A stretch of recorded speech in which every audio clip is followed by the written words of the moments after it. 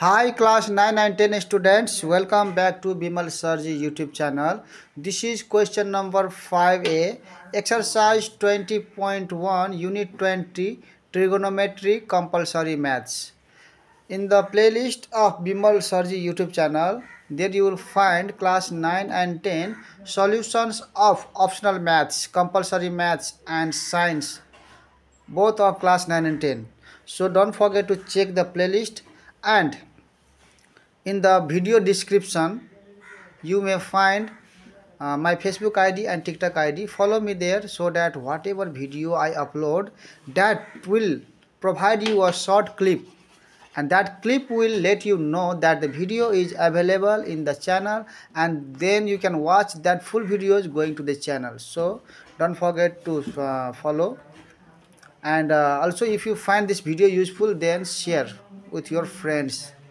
because sharing knowledge means okay enhancing your knowledge and now and if you are first watching this my videos okay anywhere then comment your school name with address so that i can know from where you are watching actually even the people of pakistan and india most okay more than the nepalese people now indian and pakistan's people watch this video okay the youtube analysis shows that so thank you dear viewers dear subscriber for supporting now I will start this solution and uh, every time okay the time stamp, okay follow the time stamp, okay or comment the time stamp, okay if you are watching that video okay now the solution of this is now here in the adjoining figure BA perpendicular AC BA this is B BA perpendicular to AC that means 90 degree AD perpendicular to DC A D. Okay, this is an AD. AD perpendicular to what? DC. BC is equal to 13 cm, AD is equal to 3 cm, and DC is equal to 4 cm. Angle ABC is theta and angle ACD is alpha. Find the length of AC. Okay, whatever the given from here. Okay, BA perpendicular AC. You write up to here. Okay. Now begin the solution. Even part you can write here. It is your choice. Now to find the length of AC. To find this AC, we have to consider this right angle triangle. So, number one, in right angle triangle ACD or ADC. ADC using Pythagoras theorem. Okay, in this triangle, okay, what is that? Uh, with reference to this alpha this is our perpendicular okay uh, perpendicular p is equal to with this uh, this uh, opposite angle opposite side is our perpendicular ad ad is equal to here 3 cm and base this is base cd is the base base is equal to cd is equal to what 4 cm and hypotenuse is equal to ac is equal to what okay we have to find the length of AC. So using Pythagoras theorem,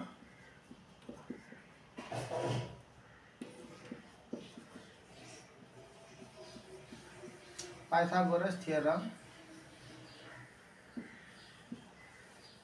AC means hypotenuse. Hypotenuse is equal to root under root under.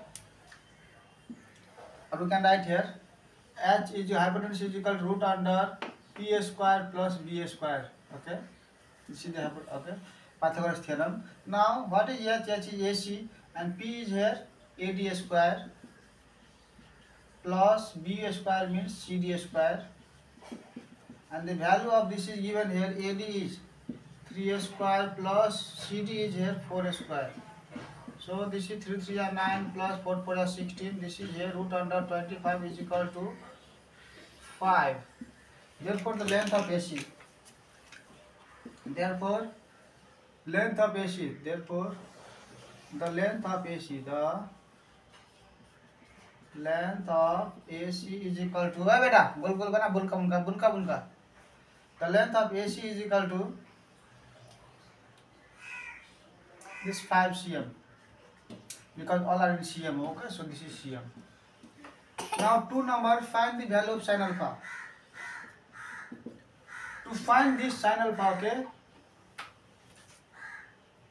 sin alpha is equal to here sin alpha is equal to p by h p by h what is p here in this triangle in this triangle this is alpha mean this is uh, perpendicular so there is p is what ad by hypotenuse what is your hypotenuse ac and ad is equal to given here 3 cm and ac we have got here 5 cm So 3 by 5.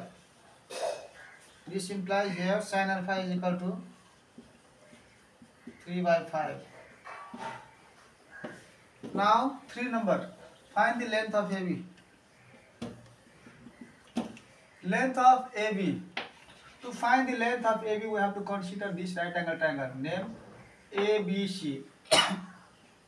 In right angled triangle A B C okay with respect to this और with reference to this theta this is A C our perpendicular perpendicular is equal to A C and A C is how much we got here A C 5 and base our base will be this is our base okay so I write base at last now hypotenuse is given here this is 90 degree so opposite this is our hypotenuse So BC is our hypotenuse. BC is called how much? 13 cm. And our base. This is our base. AB is our base. This we have to find it. AB is equal to what? Okay. What is AB? We have to find now. So again using Pythagoras theorem. Okay. Using Pythagoras theorem. we have to find base so base b is equal to the formula of base is what root under hypotenuse square minus perpendicular square so what is here b b is our ab ab is equal to root under h what is here h h is bc square minus p means ac square so bc is value is 13 square minus AC हमारे AC five square so thirteen square is one sixty nine minus twenty five this is equal to one forty four one forty fifty sixty sixty nine होते okay and this is equal to twelve C M therefore the length of the A B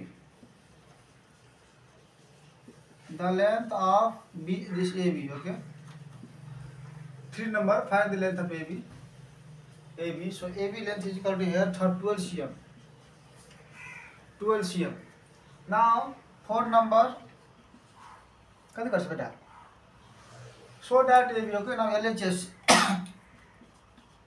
L H S is equal to here नहीं कट बाबू कपड़ा गंदा होते हैं उन्हें उन्हीं करो कहा हमारे sir A B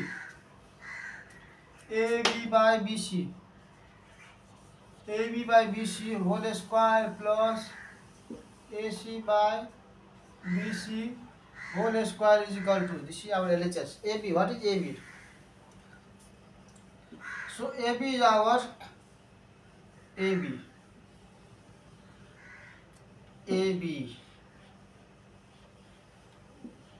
Okay, AB value, okay, right, AB value. AB value is our, AB is base, okay. yes this is here b by bc what is bc here bc is a hypotenuse b by h whole square plus ac what is ac ac is here perpendicular and bc bc our h whole square so b by h is the formula for what okay this is the triangle of which triangle this is abc triangle in abc triangle there is the reference angle theta. So this will be here cos square theta or cos theta and then whole square plus this is here p by s this is sin theta and then whole square. This means what? Whole this square means this is here cos square theta plus this is here sin square theta. This is the value of one is equal to RHS. Proved okay. Otherwise you just put the value of AB so this is the complete solution okay you can watch other videos of 5b which i have done uh, okay first i have done 5c b and this is the okay 5a you can see this uh, four number i have solved in two ways okay this is the other method and if possible okay you see that uh, video it is very easy otherwise keep the value of that ab ab value uh, okay i'll do here can you watch this downside yes you can watch here i'll do here or or or A B value A B value can take what uh L H S is equal to what is A B A B A B is here A B is कल twelve तो twelve by B C B C is हम sir B C B C is thirteen whole square plus and what is our A C A C is our A C is our five and by this thirteen whole square when you When you break this, okay, uh, it will be 144 by 169 plus 25 by 169 and when you okay take this 169 LCM off you have to add 144 plus 25 you will get here 169 by 169 so this is equal to 1 is equal to RHS proof okay so both method I have done for you if you students find this video useful share with your friends I will not solve all the parts because that subscriber told only to solve creative section okay so now 4a and b if possible I will try to solve now okay or the remaining will be done after 11 o'clock keep watching keep supporting and don't forget to check the video description and in the video description some impo in, uh, important informations are भिडियोको इन्फ डिटेलमा check गर्नु होला है कुनै कुनै important information पनि दिएको हुन्छ जुन छुटेको हुनसक्छ है त्यो पछि रिभ्यू गर्छु गर्ने बेला म केही हेर्दैन है मिस्टेकेनली कुनै बेला है हतार हतारमा केही छुट्टिन्छ म त रेयर केस हो कुनै त्यस्तो छैन अहिलेसम्म भेटेको ल keep watching keep supporting see you in the next video Radhe Radhe जय श्री कृष्ण